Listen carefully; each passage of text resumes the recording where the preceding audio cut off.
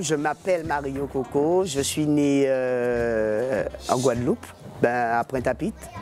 Et après, euh, à l'âge de 12 ans, à l'âge de 9 ans, je suis parti. euh, on a été habité à Sainte-Anne avec les parents.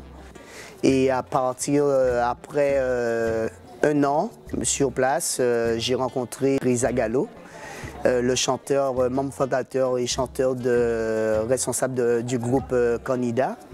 Et là, euh, en passant, il m'a demandé est-ce que ça me dit de, de danser ou bien de jouer un instrument au niveau du Goka. J'ai dit oui, pourquoi pas, mais il faut venir demander à mes parents.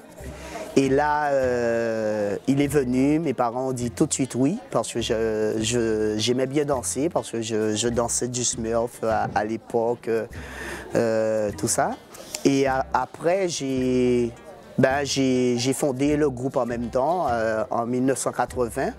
Je suis rentré avec le groupe Canida, on a fait pas mal de, pas mal de prestations, pas mal de voyages. Euh, je, me rappelle le premier, c'était le voyage, euh, le festival d'Angoulême.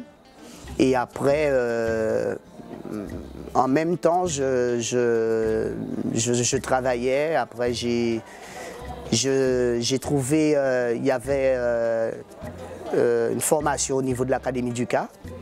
Euh, des- euh, je crois c'est en 95, 95, 96.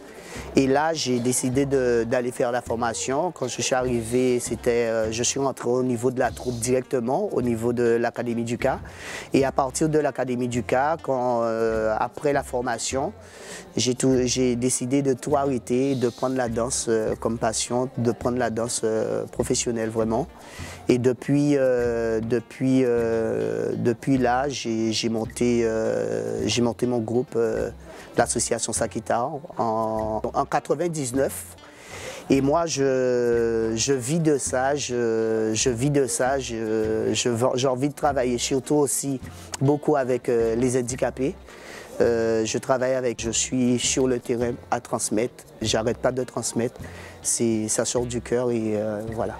Le message que je veux, je veux donner aux jeunes vraiment, c'est euh, de faire attention, de faire attention à eux et euh, d'y croire, d'y croire et surtout de prier pour euh, leurs vœux soient réalisés.